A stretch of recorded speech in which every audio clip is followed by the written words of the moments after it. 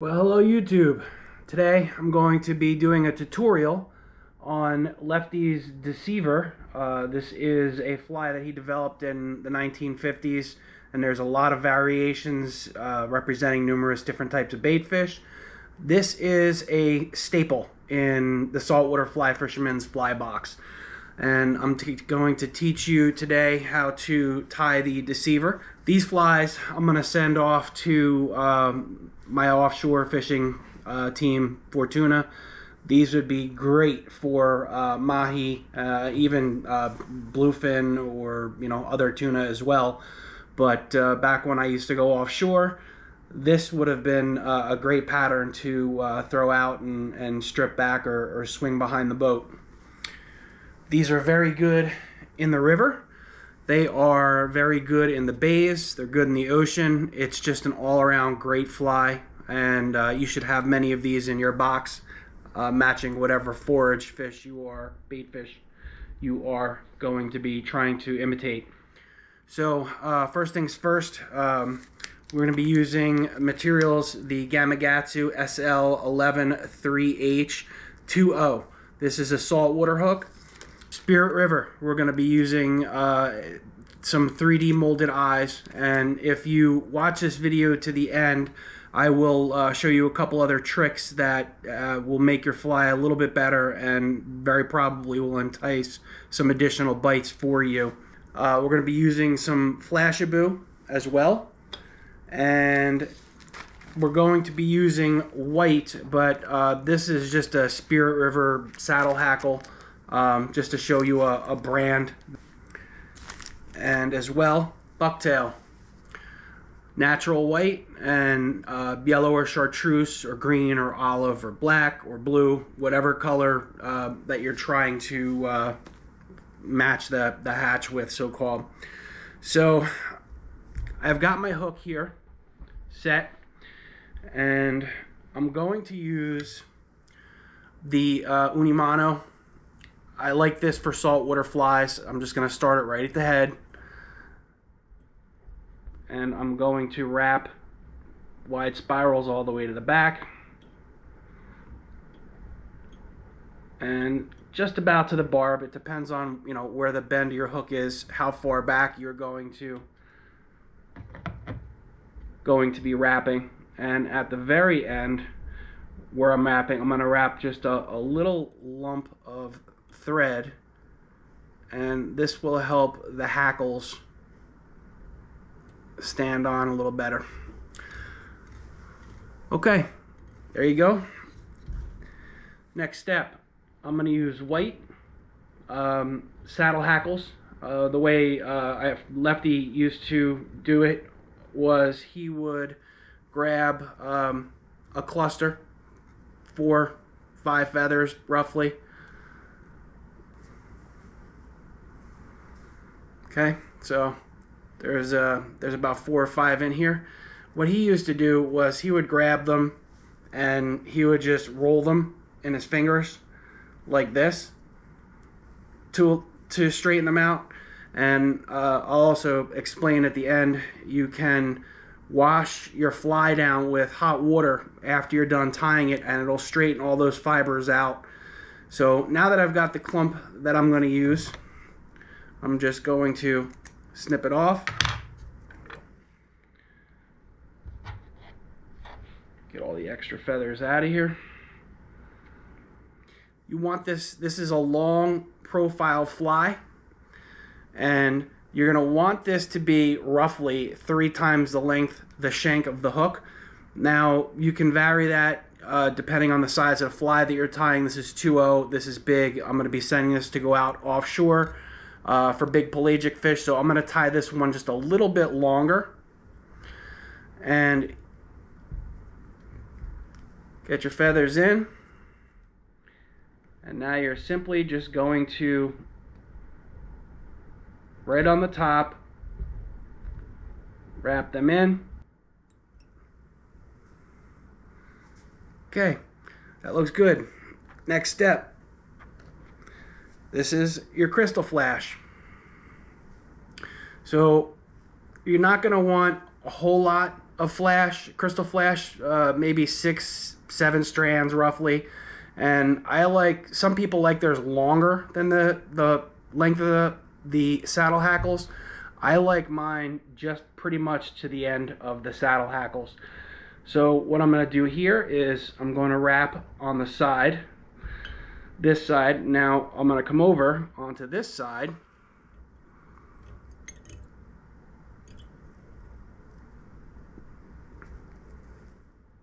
And all I did was fold it over the Krystal Flash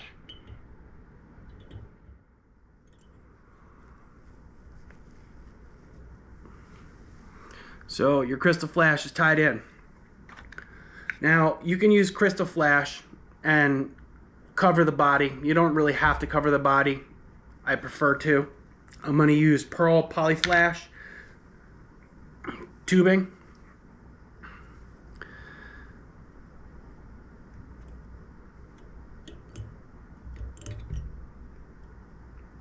Wrap that back. Get any of the fibers out of the way.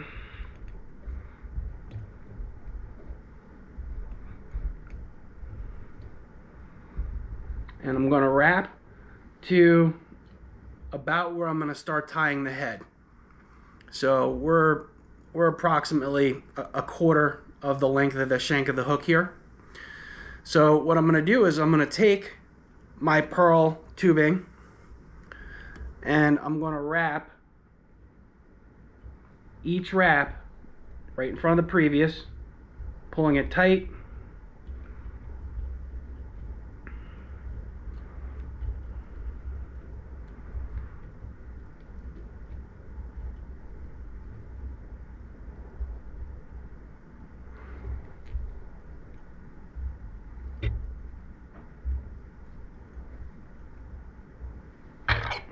cut tag end. Okay, there you go. Now what I like to do at this point, and you don't have to, but I do anyway, Zap-A-Gap. Just give it a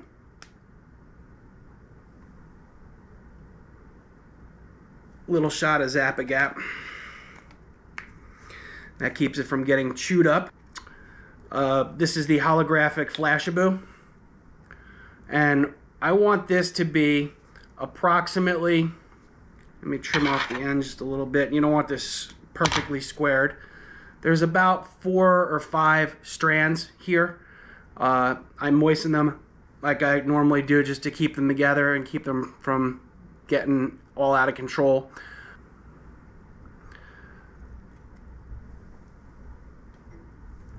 Give it a wrap. Give it another secure wrap and then what I'm going to do is I'm going to take this side and just fold it back over.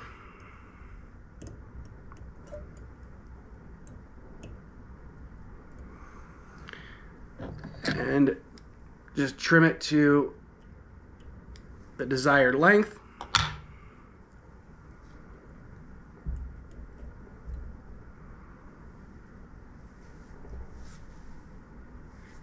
Now I'm going to do the same step Flashabou, approximately five or six strands. And I'm going to bring it back to the furthest point that I really want this on the fly, which is going to be just, you know, right here, maybe about a half inch short of the uh, saddle hackle. Some people like it longer. I don't. I don't like it fouling uh, around the hook fold over the second half of this.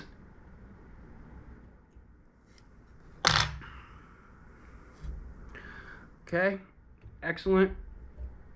Secured. In. Now this little bit of this little bit of Flashabou right here will really shine in the water. It will it will really make uh, a lot of uh, a lot of flash, the holographic silver flash on it. Okay, next step is bucktail. Now I'm going to cut, um, and one thing you want to keep in mind when you're using bucktail uh, or materials in general is to, you don't want to use a ton. Uh, less is more in a lot of cases, and this is one. So all I'm doing here is I'm going to pull out all the fluff, the loose fluff.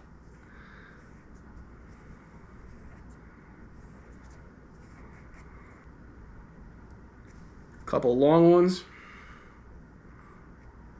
Now I'm going to measure this up on the hook. And I want it to be about one and a half the length of the shank of the hook, ballpark. What I'm going to do here is I'm going to take the hair, pinch, cut on the angle. Now this is going to get tied underneath. So what I'm going to do is get it in a position.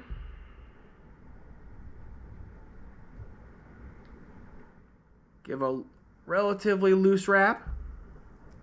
And then I'm just with my fingers, I'm just going to mush it, mush it around and down.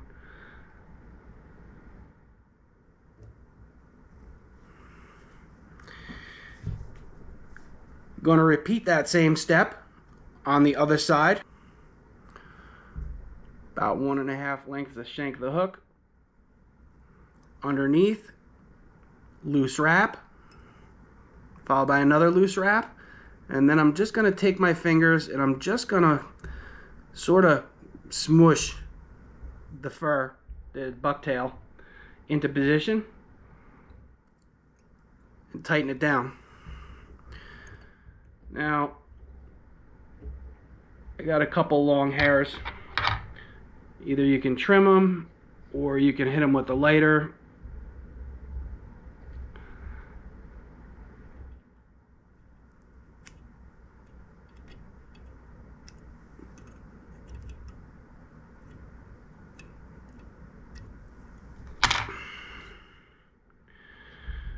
Okay, let's just clean up the head a little bit, tighten this down.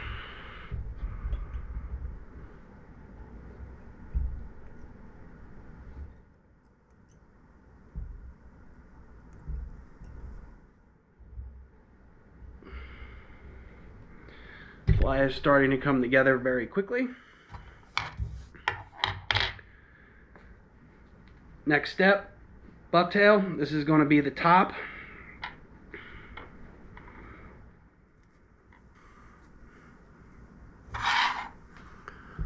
About a clump like this, clean it out.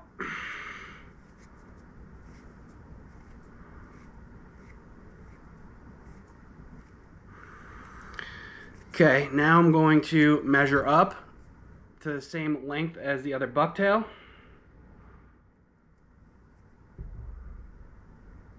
And actually this is good. I don't even have to retrim this. I'm going to just do a loose wrap followed by another loose wrap and cover kind of smush the, the fur around on the top cinch it down tie it in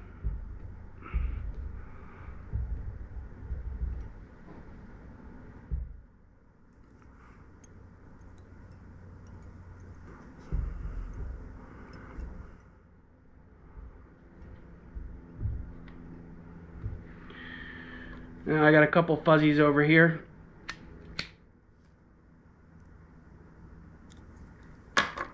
Clean them up nice. Okay, now this fly technically would be done. There's a couple other steps here that uh, I'm going to show you that can make this fly even better. First of all, some people will tie Krystal Flash red underneath. I prefer to use marabou. Um, I just like the way that it swims and undulates underwater. Um, I think it does a little better job in this scenario than. And I just pulled a little bit of red marabou off the quill, about like that. I'm just moistening it to keep it together. So by tying a little bit of red underneath, what this is going to do is look like either gills or the fish is bleeding. So either way, uh, when they see that red, it um, can trigger definitely can trigger a bite. Uh, you know, it, and another scenario too that I'm going to show you that is not tied on a lot of flies are is adding in eyes, and that actually can make a big difference as well. I think that some fish will actually key in on the eyes. So now that I've tied my red marabou gills in, I'm gonna tighten the head up, make it a little bit bigger. I, I like, you know, relatively large head on my saltwater flies. Okay, now that I got the marabou in there, I'm just gonna grab it, pinch it. You want it about the length of the shank of the hook, and you don't want to cut it. You want to just pull it with your fingers and break it off.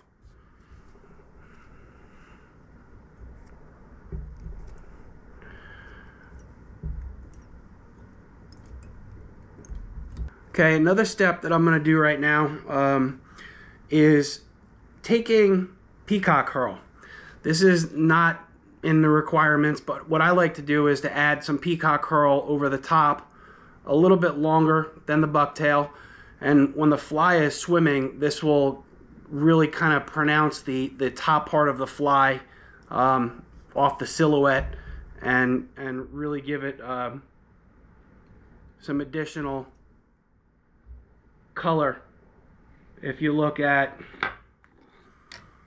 this is just a, a spearing, but if you look, you can see there's a, a it gets darker across the top of the uh, top of the back on the spearing. Uh, a lot of fish are that way as well. So this is tied in about as long as I like it. Trim off the extra. Clean up the head. Now another good trick here is I got the head about the way I like it. So I'm just going to tie this off with a whip finish.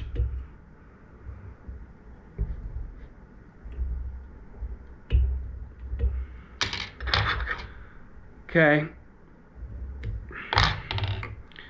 Now I'm going to zap gap the head. If you have any questions or comments, put them down below. Uh, I do I do read and, and respond to uh, the comments um, and questions.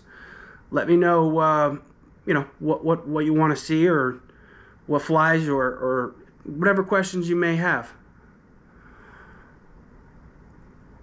Okay, now I just put a fair amount of Zap-A-Gap on there, and that's just to hold this in place. Now I'm going to add, this is red mono, and I'm going to add just the tag end here. And this is sort of like a collar. And I like to, I like to do this with string or sometimes I'll even take a strip of Flashabou or Krystal Flash and I will add this collar which kind of represents gills.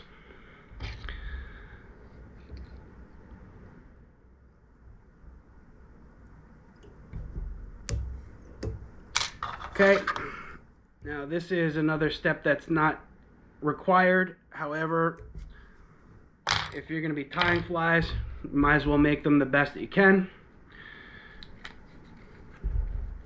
Now the Next step is going to be your 3D eyes.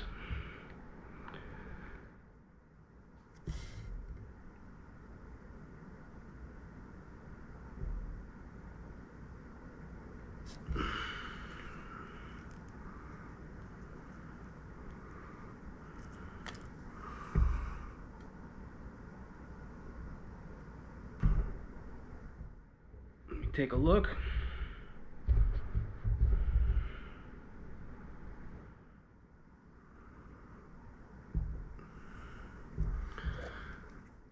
Okay, now this fly is more or less done. I'm going to add more Zap-A-Gap to it just to lock in the eyes.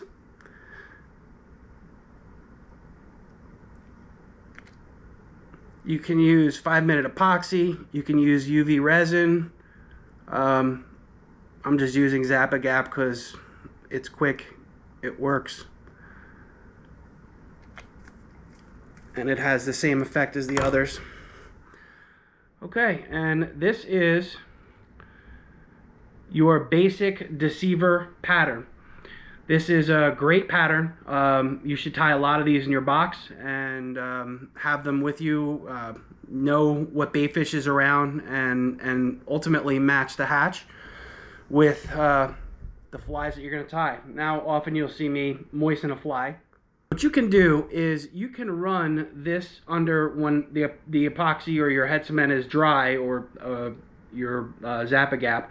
You can run this under hot water just like this and let hot water run right through it. And what that'll do is that will lay the feathers perfectly flat so they're not all bunched up and, and funny looking. But there you go. That is the Deceiver style fly. And you should absolutely have a bunch of these in your fly box. Thank you very much for watching, and I will be getting out, uh, probably try and do one more saltwater fly uh, before the summer is out. You guys have a great day, and we will uh, see you hopefully on the next episode.